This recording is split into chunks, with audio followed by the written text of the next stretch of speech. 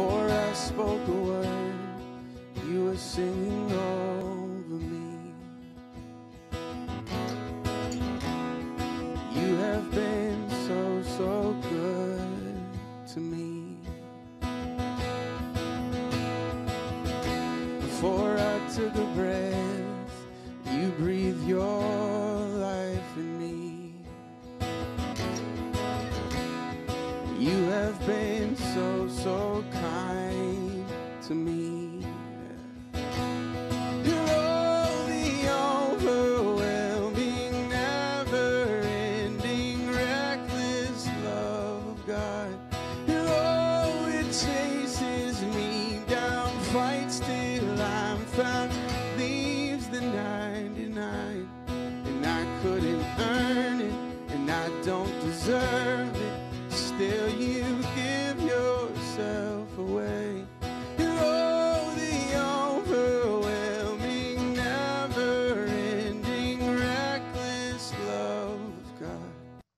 again, good morning.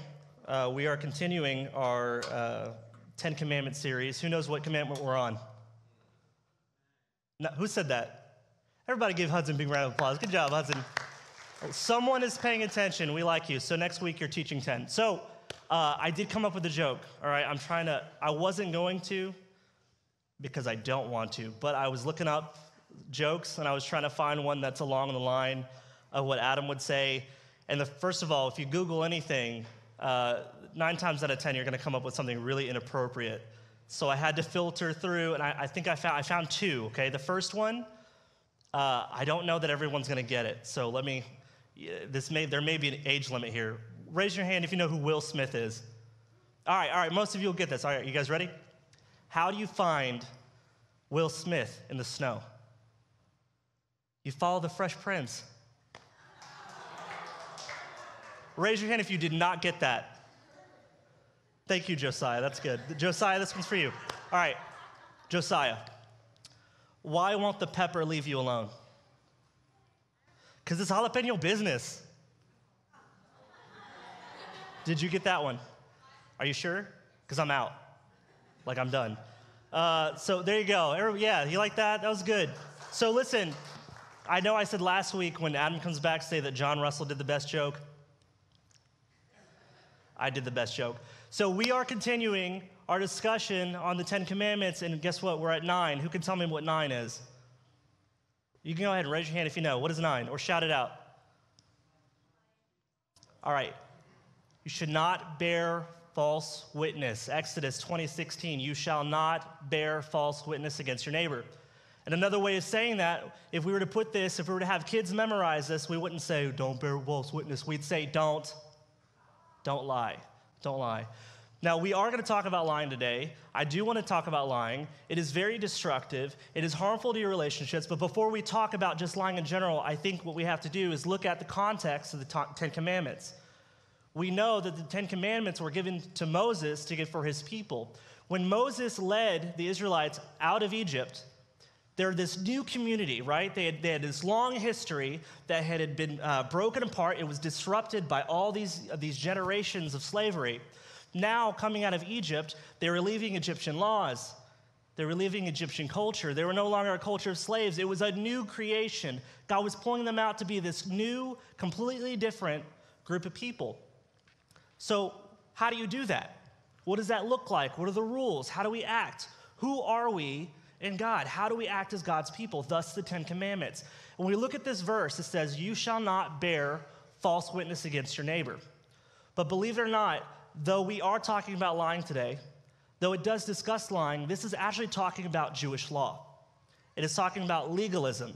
So if you actually go to Exodus 23, 1 through 3, what happens is God reiterates to Moses, he gets a little bit more specific, and this is what he says Do not spread false reports. Do not help a guilty person by being a malicious witness. Do not follow the crowd in doing wrong. When you give testimony in a lawsuit, do not pervert justice by siding with the crowd, and do not show favoritism to a poor person in a lawsuit. You skip down to 23, 6 through 8. It says, Do not deny justice to your people, uh, to poor people in their lawsuits. Have nothing to do with a false charge, and do not put an innocent or honest person to death. for I will not acquit the guilty. So, in this commandment, God is actually talking about, in the ninth commandment, he's actually talking about, in a legal sense, you wouldn't bear false witness because it could be the difference between life and death. If you go all the way to Deuteronomy, you learn a little bit about Jewish law. See, if someone were to break the law, and let's say the result would be stoning. If you've done something towards stoning, that would be adultery, murder, theft a lot of the times, it wasn't enough to have one witness. Because I can make anything up. I can say, man, Ford with his shirt and his shoes, oh, that guy gets me. Oh, man, look at his, his face. Oh, Ford. And I could say, hey, you know? I saw Ford uh, hit someone with his car. Stone him. It, wouldn't, it didn't work like that. I would need a second witness or even a third witness. More than one person has to see Ford hit someone with his car. But the trick is, because again, it's easy to get more than a couple witnesses that don't like Ford. Ford, I'm just kidding, you're a very popular guy. L- listen, it's, it's very easy to get two people to be against something, especially when those two people have something to gain. So here is the rule if you served as a witness, the perpetrator cannot be stoned until one of those witnesses threw the first stone. One of those witnesses, the death, the actual sentence had to be it had to start being carried out by one of the witnesses. And if it came out that you lied, if it turns out that that person was innocent, whoever threw that first stone would end up being the one who would stone in turn. It would be levied against them. They would get stoned. So all of a sudden, I'm like, yeah, I don't like Ford, but I also don't like being stoned to death. So when we're looking at this verse, we're actually talking about the legalism. But this is a very prime example of how lies can be the difference between life and death. Here's the number one thing I want us to walk away with today lies are destructive to relationships. It's destructive to relationships, and this is not beyond your imagination. So, wives, let's pretend for a second you know your husband's loyal. You know your husband has not committed adultery. You know that you can trust them, you have faith in them, but remember when they stopped smoking 10 years ago? And then all of a sudden, you're going through his things and you find a pack of cigarettes. It completely changes the dynamic of the relationship. All of a sudden, questions that were not there before about the relationship start to form. It's damaging. And even though, even if it's just that one thing, and you guys raise your hand if you got kids, you know this, man, your kids lie to you, and typically it's not like, okay, did you steal a cookie out of the cookie jar? Yeah. Not a big deal. That's don't stone him, you're fine. It's just a cookie, you're fine. But when they say no and you find out they did, it's no longer about the cookie, is it? What's the worst part of finding out that your child lied to you? You can't trust them anymore. The trust is broken. The relationship, there is a fault, there's a break in the relationship when someone's dishonest. And this is just common sense. And I, man, I hate to use this quote uh, from Nietzsche, the guy that said that God's not dead, but he, had a, he does have a really good quote. That he did say something very, very important. I'm not mad that you lied to me, says Nietzsche. I'm lied that I can't believe you anymore. See, lies are a destructive, destructive force against the relationship. And it's something that Satan uses very, very well. Says Satan is the father of what? Lies. If life comes from relationships, if our relationship with the Father gives us life, then the best way to sever that relationship is a lie and bring us to death, Satan's gonna use it. Because lie, lying is a very effective way of cutting off a relationship between each other and between the Lord. So we go back, I mean, you can go back all the way. Let's go to Genesis 3, 2 through 4. Got the Garden of Eden right? You've got Adam and Eve, and they've got this relationship where everything they need is handed to them by God. A lot of people believe it didn't rain. Water came up naturally in wells. They had all the fruit. They, they didn't work. Men, amen. They didn't have any work to do. They didn't have any labor. There was no pain and there was no death. And in the afternoons, they get to walk with God. How amazing does that sound? That's life.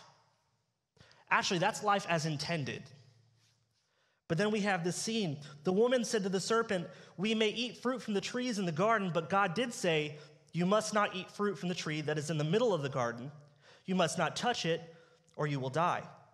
And the serpent said, You will not certainly die. So Satan lies. First line of the Bible you're not going to die. But we know, of course, because sin turned our world upside down, that life intended now had death in it.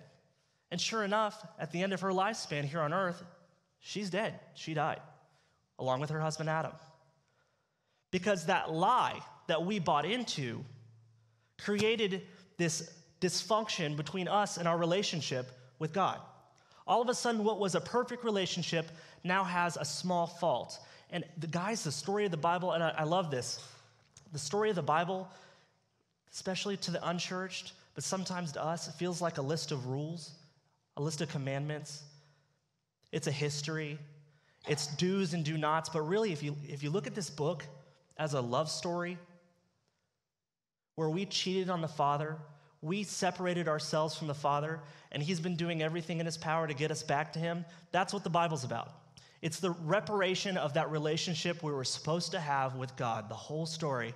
And if you read it, it's us messing up, and it's us buying into lies, and it's a sinning and being separated over and over and over again. And God sends up uh, a new covenant here and a new covenant here until finally the, the story of Christ comes and the final covenant. And here we are. We have now this way to repair a relationship that we broke when we gave into Satan's lies. So lying has a very, very, very strong uh, diminishing effect on relationship. And I think that's why he's the father of lies, isn't it? If you think about it, if his goal is to come and kill and destroy, separating us from God would be the quickest way to accomplish that. And lying just about does the job, doesn't it? It does. If, uh, if, I don't know, if diet soda was the best way to be separated from God, he would be the father of diet soda but it's not. It's lying because we buy into it. I've also heard it said that uh, lying is, it's, uh, there's two parts to lying, right? It's a mutual agreement. You lie, but you also agreed to be lied to. When you accept the lie, you've agreed to take that as truth. And what Satan does is he dangles whatever we think we want to believe right in front of our faces. That's what we call temptation. We buy into the temptation. Just a minute ago, not but 30 minutes ago, I, I had the kids, we were doing Sunday school, I said, what, who makes us sin? This is my favorite, this here's my favorite lie. The devil made me do it. The devil made me do it. The devil didn't make you do nothing. We have free will. What he did is he lied. And we bought into the lie. And what happens is we end up separating ourselves from each other. We are no longer able to witness to each other.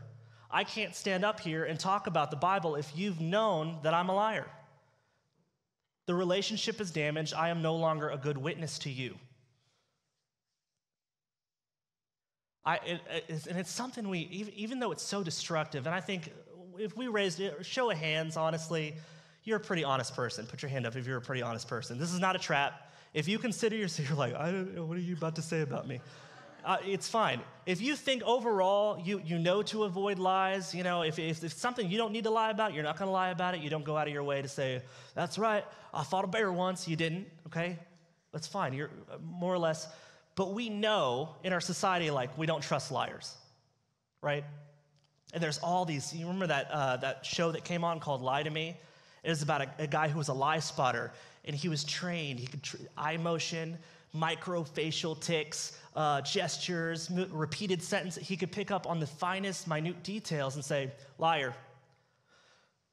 But try it this way if you want to spot a liar, look at their relationships. How deep do those relationships go? Because someone who has a tendency to be dishonest tends to have really shallow relationships. Then someone figures out that they're lying, there's a problem in the relationship, so they move on to someone else. And then because of the lying, the relationship doesn't get very deep, so they move on. So if you know someone who has a lot of friends, they know a lot of people, but someone doesn't know them very well, they're lying. That's something that's, that, that happened. It's, it's funny to me that we know that that's Satan's handiwork. The question is do we, sometimes as liars, are we, are we working on the behest of Satan? I wonder, are we damaging our own relationships for him? Does he have to put in a lot of work when we lie? If we make lying a part of our, of our habit, a part of our life, are, are we doing work on the behalf of Satan? Because really, as Christians, we're supposed to emulate who? Jesus. But when we tell a lie, who are we emulating? Satan. But it's something that we've come to accept in society. I mean, can you name another commandment where it's like, oh, yeah, you know, I just, this is just a little white murder. A little white murder never hurt anybody. It's almost like saying, I'm a little pregnant. Yeah, no, you're all the way pregnant. You all the way lied, right? But we, we tend to accept this idea. Lying is acceptable to an extent. Say, honey, how do I look? Does this make me look fat? And you're like, no, right off the bat. Hey, do you like, uh, is it too much pepper? No, not too much pepper, right? Little white murder, little, little white lie there. And it, I, I, can tell you how broken I am. I've got two kids, and if you've got kids, you, if, man, oh, I'm sorry. I've got two kids. Listen, I've got two liars. I've got one toddler. She don't lie about nothing. She's mad. Ah! I mean, you know, the two kids that, that they're the ones who betray. And if you have kids, you know, like if you raise a toddler, sin is real. sin is, it's not nature versus nurture, it's God versus evil. I mean, our kids do some ridiculous stuff. You're like, where did you, where did you learn that? Did, uh, did you say something like that to them? Because I didn't. Where are you picking this up? Sin is so natural to my children. And this is how natural sin is in our world. Uh, they've got a bedtime, right? And I'm, I'm strict about bedtime because bedtime really means mommy and daddy time. That's what that is. So I protect that with an iron fist. Everything else, I don't care. But I put them in bed, and I'm like, all right, guys, stay in your beds. You face that way. You face that way. No, t- they share a room. No talking. Don't make me come back. And I get, I get like the glare. Do not make me come back in here. You know, and I'm aggressive. Other time, otherwise, I'm just the sweetest dad in the world, right, mom? Okay, I'm lying. So, so uh, yeah. So seriously, but I'll, I'll, you'll hear it we're sitting in bed, we're doing whatever, we're watching Netflix, we're, who cares? But, and you hear, ha ha ha and they're laughing and they're playing. And you go up there, and I, I'll open the door, and Harley is older, so he's smarter. So he's already in bed with, his, with a blanket over his face.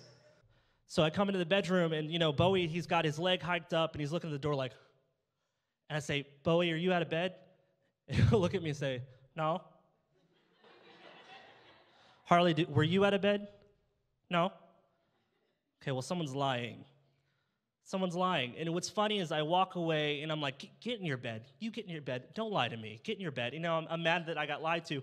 But really, what happens is I'll go in back to the bedroom and just be like, what happened? I'm like, man, I don't want to talk about it. She's like, what's wrong? They've gotten out of bed before. I'm like, no, it's not it. You think I'm about to say it's because they lied to me. But in all honesty, I'm, I'm really frustrated that they didn't lie better because I'm like, really? Like, if you're gonna lie, do some homework. Like, think about, put your ear to the door. I don't know. Just move, stay close to your bed, and then hop on. Manipulate better. Do your homework. I get frustrated that my kids are not better at deceiving me, and now that Harley is, I'm like, go back, go back, go back. But we accept it to, to an extent. We do. We accept lies in our relationships, and we, we accept lies. Oh, we accept lies all over the place but it, it, really it really destroys relationships. It, it's insane that we allow it to continue to the extent that we allow it to continue. Guys this generation the millennial generation that we're dealing with now we talk about millennials as like a hot topic. The one thing the only thing that millennials are sick, of, uh, sick of hearing about is the word millennial. But one of the topics with the millennials is that you guys understand that your kids are the most advertised to children in the history of man. The information age, man, they've got, they've got ads coming out of the TV, they've got ads coming out of the computer screen, they've got ads coming out of their phone. Funny enough, but the millennials know to take everything with a grain of salt a little bit better than the generation before it because they have very little trust for the world around them. But for the older folks, the parents, what's interesting to me is that living in the information age, you think that you'd have more information of value, that you've got access to more truth. You don't. You have access to more lies. And the lies that you read off the internet, guys, I'm telling you, if, if you're getting your information from the internet, there is not a person in this room who can filter the truth enough to live off the internet. You will not find enough truth to sustain your life by looking up things online. Now, a couple years ago, I had to replace a water heater on a bus, and I, a water pump on a bus, and I, I did it. I did it through YouTube. but it is not the secret to raising my children because it's full of lies. The only place that I can go that is packed full of information on how to live is right here in this Bible. So, what we tend to do is we take information from outside sources and then we repeat it. So, hey, it worked for me. But the truth is, it's not, it doesn't coincide with what's in here.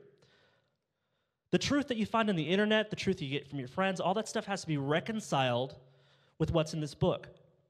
So, someone, when someone asks you for advice, I want you to refrain from pointing them to a YouTube video.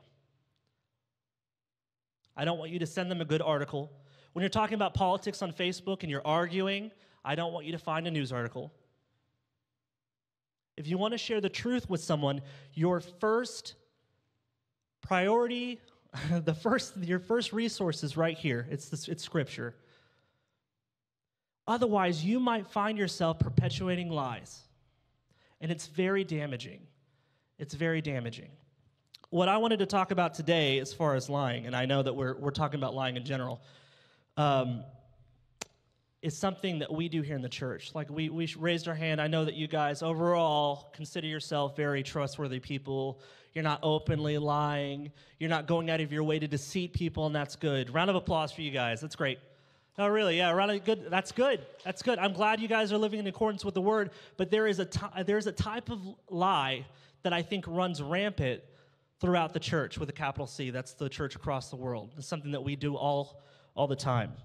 I want to turn to a story in Acts 5. We're going to go Acts 5, 1 through 6. And it's the story of Ananias and Sapphira. If you've heard this story, you know more or less what happens, and we're going to go over it. But I need to set up some context for you. Acts 5 is the blossoming, the explosion of the new church, right? The first church, the church of Acts, man. Jesus came, there was Pentecost, he, he went back up, then there's Pentecost, and these disciples who were confused while they're following around Christ, all of a sudden they're filled with the Holy, Spout, uh, Holy Spirit. They're filled with power, they're doing miracles, and we're seeing witnesses. Uh, we're, seeing, we're seeing new believers go by the thousands, by the thousands. A very working model. Something real is happening. And if you're following this church, what's happening is a lot of these people, right before uh, five, the very end of chapter four, these people have a crazy lifestyle. What they're doing is they're selling their property, they're selling all of it, and they're leaving every single penny at the feet of the apostles. If one of your kids said, Oh, yeah, there's this group, and I just joined them, so I sold all my stuff and gave them the money, you'd be like, Okay, it's a cult. We need to step in, something's going on because it was so radically different and so strange to the world around them. So these people who have they have honest, they're having an honest, authentic, genuine, sincere, truth-filled experience with the Lord. The fruits of this is that they're not living for money anymore. They're not living for possession anymore. In fact, they're happy to get rid of it to serve God's purpose. And these apostles are taking everything, all this money from these properties being sold, and dividing it out as the mission needs. They're dividing out to members who are in need. They're giving it to people who need a new pair of shoes. Someone over here needs bread. Hey, we know of a community over there that they're going to need some cash. Their widows aren't being fed, and so on and so forth. Then we have Ananias and Sapphira. What we tend to do in the church is not necessarily outright lying, it's the lie by omission. Everybody say lie by omission. It's not so much a direct lie as it is an indirect lie. It's so not, uh, not so much telling deceit, using words to spread deceit, it's living in deceit. So, what Ananias and Sapphira do is they sell some of their property. If we go to Acts 5, it says, Now a man named Ananias, together with his wife Sapphira, also sold a piece of property. With his wife's full knowledge, he kept back part of the money for himself, but brought the rest and put it at the apostles' feet. Then Peter said, Ananias, how is it that Satan has so filled your heart that you have lied to the Holy Spirit and have kept for yourself some of the money you received from the land? Didn't it belong to you before it was sold? And after it was sold, wasn't the money at your disposal? What made you think of doing such a thing? You have not lied just to human beings, but to God. When Ananias heard this, he fell down and died. And great fear seized all who heard what had happened. Then some young men came forward, wrapped up his body, and carried him out and buried him. And if you continue the story, Sapphira comes in later, and Sapphira goes through the same thing, only this time Peter says, Did you or did you not? Did you give us the full amount? When you and your husband sold the property, did you give us the full amount? And she just flat out lied. She said, Of course it was the full amount. And again, just like her husband, she drops down dead. Pretty extreme sounding. Pretty, pretty extreme. Yeah, I want to look at the story. If you understand what Ananias and Sapphira were trying to do, if giving all, giving everything was a fruit, the fruit of their relationship with God, we're seeing that Ananias and Sapphira did not bear the same fruit. So you can understand that Sapphira and Ananias did not have the same relationship with God, did not have the same Holy Spirit dwelling in them as the rest of the believers. So, where is the mistake? What was this mistake that Ananias and Sapphira made? Was it only giving a portion? Let me ask you a question. Raise your hand if you, if you have property, you own, own property. If you own property, put your hand up. All right, look. If you were to go and sell, sell that and bring this church only a portion, we'd have to bring out the defibrillator because Adam would just pass out with joy. What? You did what? It wasn't necessarily that he held back. The issue is he was trying to purchase respect and authority from people in the church. He was saying, Look at me. We, we worship the same God. I've got the same relationship you have. Nothing's wrong with me over here. I've got the same spirit as you. I'm in the same place as you. Please respect me. Please accept me as one of yours. Please believe that my relationship with God is perfect. But that wasn't the case. So when Peter calls him out and says, You haven't just lied to man, you've, you've lied to God. That means his relationship with members in the church was damaged, his relationship with God was damaged. And in this time, this early church, the church of Acts, Jesus said that he was going to make his church, his church was going to be built, and nothing could stop it, not even the gates of hell. He wasn't going to, at this time, let a lie come in and destroy his church because a lie has that power. A lot of the drama I see in churches is either a lie between someone and someone else or a lie to themselves. I see people lie to themselves more often than not. We were talking on Sunday or on Friday for our Bible, I'm sorry, Wednesday uh, at youth, we were talking about the lies that we buy into. Let me, let me break your hearts for a second. The lie that your children, your youth buy into all the time is that they're not worth anything, that they're not smart enough, that they're not attractive enough, that they're, they're not smart enough. And they buy into that and they go into survival mode. And they start, they take the bars. God has a plan for you that's right up here, giving everything, putting your life on the line, putting your money on the line, giving up your possessions, living for God. Here's the bar and you're told, hey, you're not smart enough, you're not attractive enough, what your kids tend to do is they take that bar, they put it right down here. And they don't achieve half of what God had for them. Or they walk away from God altogether. See, in a relationship where there's a problem, if the problem is not addressed, the relationship cannot grow. It doesn't get deeper. The lie by omission keeps your relationship from becoming what it needs to be.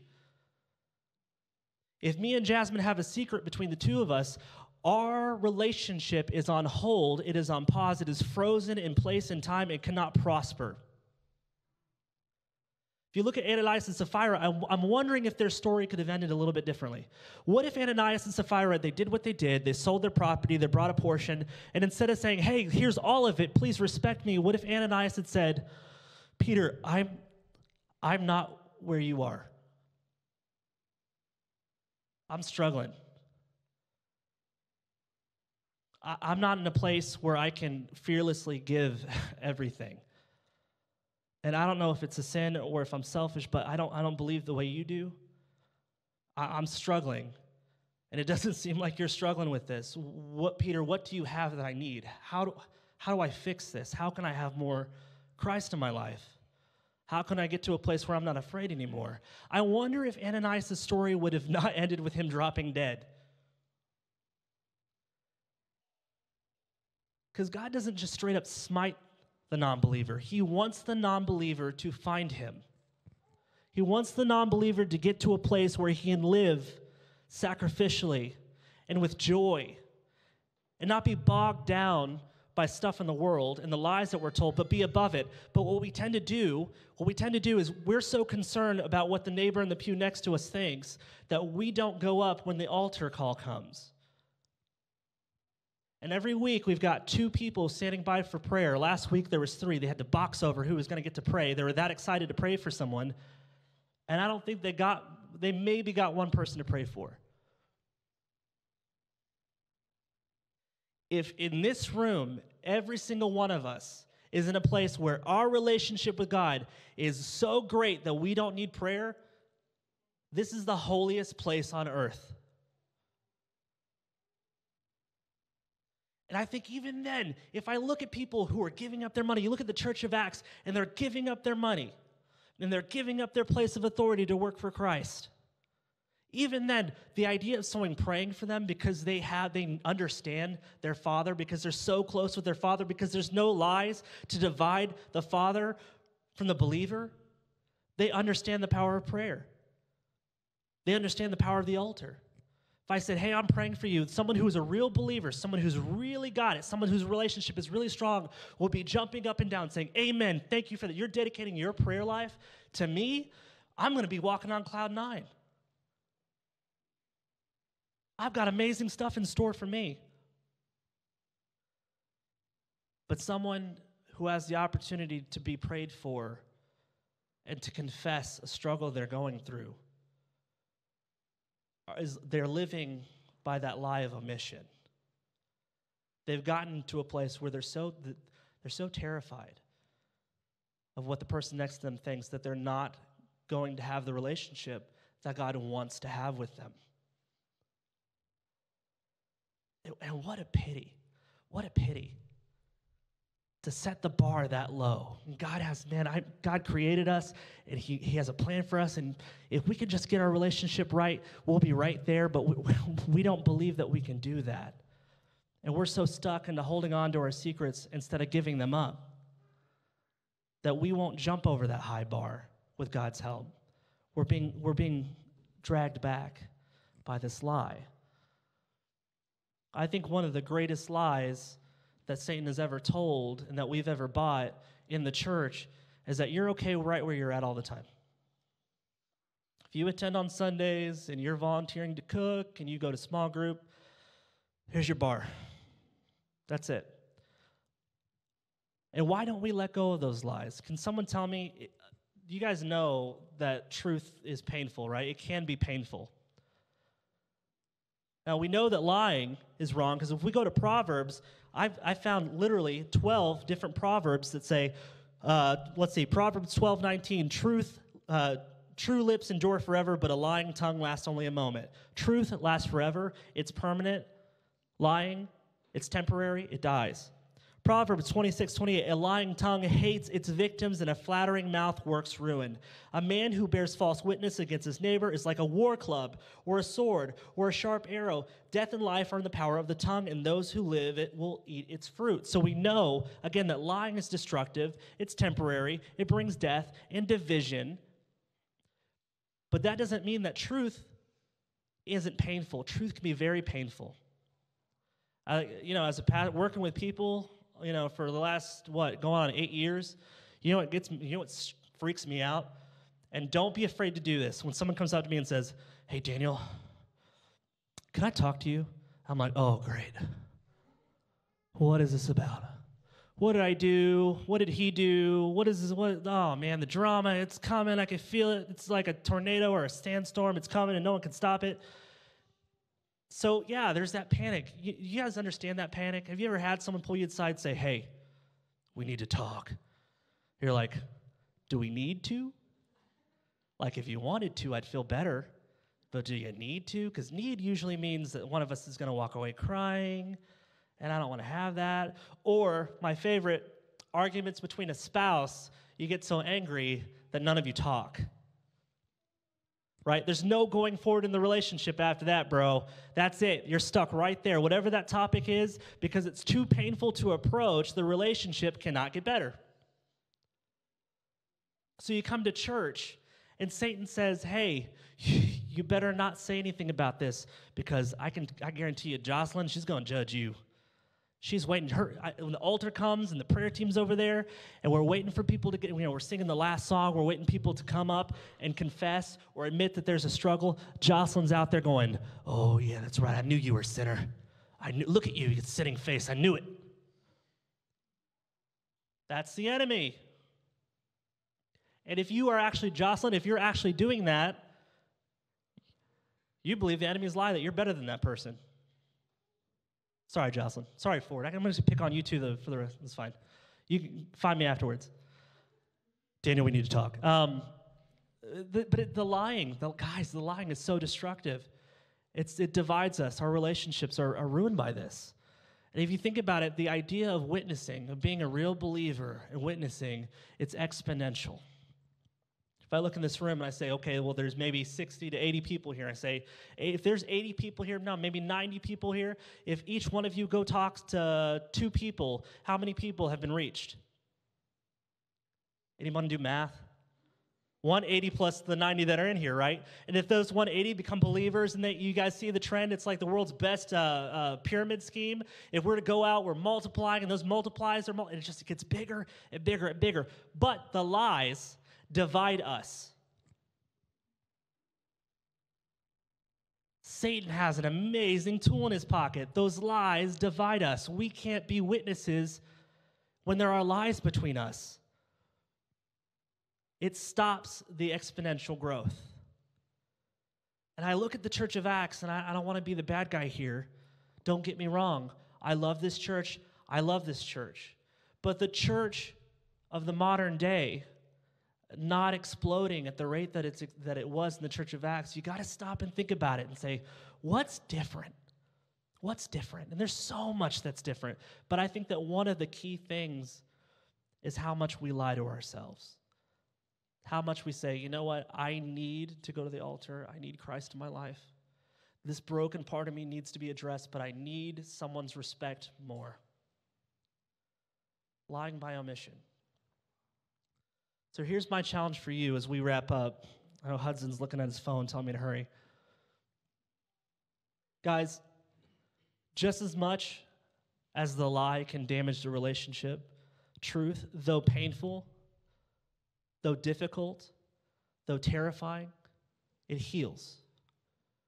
Jesus said in the New Testament, throughout the gospel, it's recorded a total of 78 times I tell you the truth. First thing out of Satan's mouth was a lie. Who are you going to emulate? Are you going to be the healing force that Jesus was? Are you going to carry the Holy Spirit and give into it when it tells you to speak? Are you praying for the courage to speak truth when it's difficult? Worship team, you guys can come up. I think that sometimes what we do is we avoid opening that can of worms altogether. You've got pastoral staff here. You've got elders. Raise your hand if you go to a small group. Guys, if you go to a small group, you have instantly a better connection with the people in your small group than you do to me as a pastor. There are believers who are willing to hear you out, but it's kind of like the idea of going to the doctor. I don't want to go see Dr. Ford because then I'm going to find out I have something. I'm not going to confess to someone who has my best interest in heart that I'm not where I need to be with Christ because I'm going to find out that I've got something. If you find yourself leaving this room on Sundays, leaving youth, leaving your small groups, and not feeling like God was talking directly to you,